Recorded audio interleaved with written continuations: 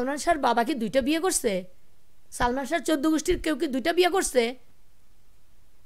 ওদের উপর ওইসব ঘৃণা করে আমার ছেলে দুইটা বিয়ে করছে ছোটটা বলছে, আমি সালমান সালমান শাহ না, যে একটা রাইখে আমি পুষে পুষে দুঃখ দুঃখ মরবো, ওটা আমি ছেড়ে দিয়েছে, ছেড়ে দিয়ে একটা বিয়ে করছে। কিন্তু সালমান শাহ কেন বিয়ে করবে দুইটা? সাবনারকে নিয়ে আর ওকে নিয়ে কে- সামি- নিয়ে এই প্রস্তাব বা সালমান শাহ দিবে কেন? তার মা বাবাকে মেনে নিবে?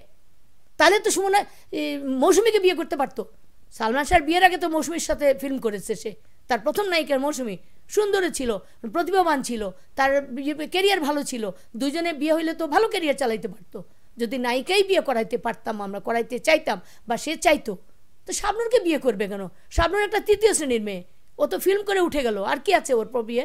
আর আমরা মেনে নিব, তার মা বাবা মেনে নিবে। ঘরে বউ রেখে সে বিয়ে করবে। তার বউকে সে সত্যি ভালোবাসতো, তার পরিবারকে ভালোবাসতো এবং শেষ মুহূর্ত সে চাইছে, আমিও চাইতাম। সংসারটা ঠিক হয়ে যাক। শাবনূর তো শাবনূরকে আপনি বলেন যে হ্যাঁ তৃতীয় শ্রেণির নায়িকা যা হোক। কিন্তু শাবনূর সাথে কিন্তু আপনার শেষ পর্যন্ত শেষ কবে শাবনূর সাথে আপনার কথাবার্তা হয়েছে কথাবার্তা কোনোদিনই হয়নি। মাঝে মধ্যে একবার দুবার ওই সিমনের সাথে ছবি করার সময় দেখা হয়েছে একদিন। মারা যাওয়ার পরে সে আমার কাছেও আসে নাই কোনোদিন আমার সামনেই আসে নাই। একবার মধ্যে ওই প্রাইজ আনতে গিয়ে ইমনের প্রাইজ আনতে গেছিলাম আমি আমার ছোট ছেলে কোন হলে ওই একদিন মারা যাওয়ার পরে ওখানে গিয়েও দেখলাম ওটা আলমগীর সাহেব কিনে নিয়েছেন। এখন আবার বড় বড় কথা বলেন, সবাইকে জবাব দিতে হবে। সালমান শাহ ডিক্লেয়ার করা পুরস্কার উনি পয়সা দিয়ে কিনে নিয়েছেন, অভিনয় দিয়ে নয়।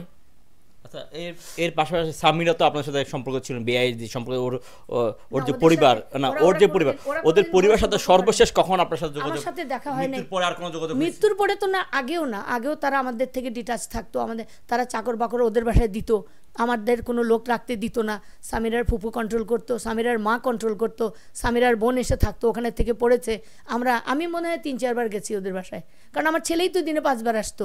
আমার যাওয়ার দরকার হতো না। কোনো সময় দরকার হলে ও ডাকলে, কোনো কারণে কিছু হলে আমি যেতাম। একবার এই মনের জ্বর ছিল, গেছি। একবার মনে এমনিই গেছি। এরকম টুকটাক সময় গেছি আমি।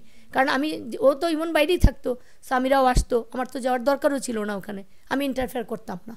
টোটালি আমি ইন্টারফেয়ার করতাম না। আমি জানতাম আমার ছেলে যথেষ্ট এ আছে, যা হবে, টুকটাক যাই হবে আমাকে বলবে। আমাকে বলেছিল। পাশাপাশি আপনার আর্টের যেটি নাম আপনিও উচ্চারণ করেছেন যে খলনায়ক হিসেবে যে খুব সমালোচিত ডন। হ্যাঁ ডন সাথে কিন্তু ইমনের সাথে খুব ভালো সম্পর্ক ছিল। বন্ধুত্ব ছিল সেটা দাবি সবার। এই সবার দাবি- বন্ধু কীভাবে তার বন্ধুকে হয়তো আপনার দাবি হয়তো হত্যা করার ক্ষেত্রে কুতুর পত্র আমি পারে। আমি যদি একজনকে বন্ধু বলি আর বন্ধুর ভিতরে বন্ধুই তো শত্রু হতে পারে। মির্জাফর সিরাজউদ্দৌলা থেকে শুরু করেন। আপনি ইন্দিরা গান্ধী আপনি ওইখানে যান না। আপনি জিয়াউর রহমান, তাকে মারলো কে? কাছের লোক। আজকে বঙ্গবন্ধুকে কে মারলো? কাছের লোক।